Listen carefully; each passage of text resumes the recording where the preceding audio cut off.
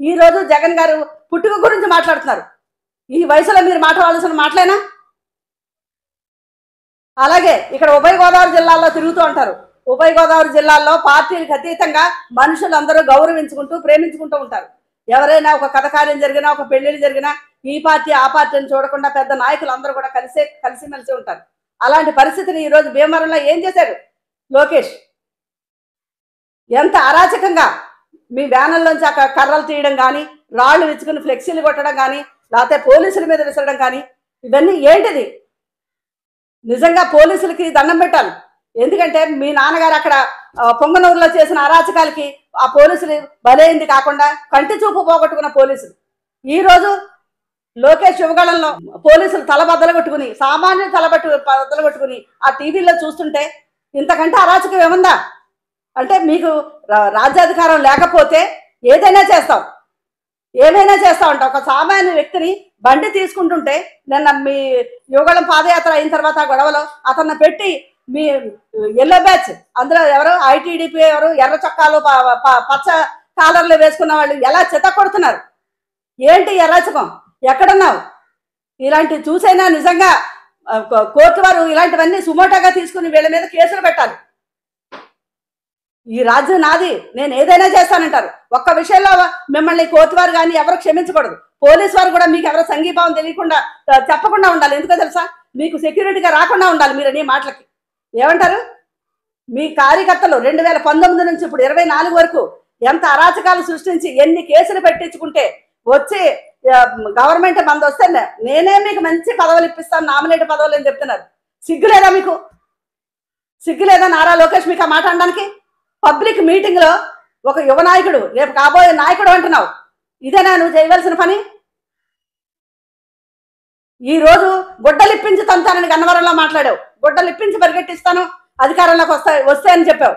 మరి ఈ రోజు అధికారంలో మేమున్న వైసీపీ నాయకులం అలాగే వైసీపీ మంత్రులు నువ్వు ఎవరైతే అన్నావో ఆ మంత్రులు ఈ రోజు నీకు ఆ పని చేస్తే గుడ్డలిప్పించి నిన్ను పరిగెట్టిస్తే? ఏం నేర్పుదాం అనుకుంటున్నారు? పాదయాత్ర ద్వారా ఎక్కడైనా మీరు వచ్చి చూసి అరాచకాలు ఎక్కడైనా ఉన్నా పరిపాలన సరిగ్గా లేకపోయినా దాని గురించి విమర్శించండి. దాని గురించి ప్రజల్లోకి చెప్పండి. వీళ్ళకి మీకు చేయలేకపోయారు మేము వచ్చి చేస్తాం. చెప్పండి అక్కడ. నువ్వు కానీ మీ నాన్నగారు చంద్రబాబు నాయుడు కానీ అక్కడ రాయలసీమలో చెప్తూ వాళ్ళని రెచ్చగొడతాడు అక్కడ. చంద్రబాబు నాయుడు గారు. ఇక్కడ తిప్పు- ఇక్కడ. అసలు ముఖ్యమంత్రిని కనీస గౌరవంతో మాట్లాడాలి అన్న సంస్కారం లేని ప్రతిపక్షం ఉందంటే ఇక్కడ ఆంధ్రాలోనే ఉంది. మొన్నటికి మొన్న పవన్ పవన్ కళ్యాణ్ గారి వారాహ యాత్రలో ఆయన కూడా అంతే ఇదే బెదిరింపు ధోరణి. జగన్ని అంత చూస్తాను లేకపోతే నాయకులు అంత చూస్తాను. ఇదే మాటలు కానీ మీరు ప్రజలకు ఏం చెప్తారు? ప్రజలకు ఏమి ఇద్దామనుకుంటున్నారు? ఏమి మంచి చేద్దామనుకుంటున్నారు? అని ఈ ప్రతిపక్ష నాయకులు నోట్లోంచి ఒక్క మాట రావటం లేదు. ఎవ్వరు చూసినా ముఖ్యమంత్రి జగన్మోహన్ రెడ్డి గారిని టార్గెట్ చేసుకునే మాట్లాడతారు. ఆయన్ని ముఖ్యమంత్రిగా ఒప్పుకోవడానికి వీళ్ళకి మనసు రావట్లేదు. ఇంత అఖండమైన మెజారిటీ ఇంతమంది మనసులు దోచుకుని ఇన్ని సీట్లు సంపాదించుకుని బ్రహ్మాండంగా పరిపాలన చేస్తుంటే కేంద్ర ప్రభుత్వం ఇచ్చి ర్యాంకుల ద్వారా కూడా ర్యాంకుల్లో మనం ఎగబాకి పైకి వెళ్తుంటే ఇవన్నీ కనబడట్లేదు. నిజంగా మీకు లోపాలు కనబడితే చెప్పండి. మీరు వీధి వీధికి వాడవాడికి వెళ్తున్నారు కదా? చెప్పండి. మీకు ఆయనని ధైర్యం ఆయనని చూపించడానికి ఏమీ లేవు మీకు. ఎలాగైనా మీ ఉనికిని చాటుకోవడానికి ఈ యాత్ర యువగళం యాత్ర యువ గంగాళం యాత్ర ఎవ్వడో పట్టించుకోవట్లే. ఈవేళ ఏలూరులో ఇక్కడ కనబడతారు రేపొద్దున వచ్చేసరికి అరవై కిలోమీటర్లు ముందుకు వచ్చేస్తారు నడుచుకుంటూ. ఈ యువగళం యాత్ర ఎవరిని ఉద్ధరించడానికి ఏంటి? పాదయాత్ర అంటే ఎప్పుడు చేస్తారు? పగల చేస్తారు. సూర్యోదయం ఉన్న సూర్యాస్తమైన దాకా. అప్పుడు ప్రజలు అందుబాటులో ఉంటారు ఏ సమస్యలైనా తెలుసుకుంటారు మాట్లాడతారు. అయిపోతుంది. ఏ కారు ఎక్కుతాడు వచ్చేస్తాడు. అరవై కిలోమీటర్లు నూట ఇరవై కిలోమీటర్లు ఒక రోజులో వెళ్ళిపోతారు. అక్కడ అరాచకం సృష్టిస్తారు. ఇదా? ఏంటి యువగళం ద్వారా వచ్చేది? యువ గళం కాదు యువ గరలో చెమ్ముతున్నారు ఇక్కడ మీరు. యువత నాశనం చేస్తున్నారు. మీరు టీడీపీ ద్వారా తీసుకొచ్చిన ఐటీడీపీ మనుషులు కానీ ఆ ఎర్ర చొక్కా వేసుకున్న మేము మీ ఎర్ర సైన్యం కానీ వీళ్ళందరూ కూడా యువ యువకులే కదా.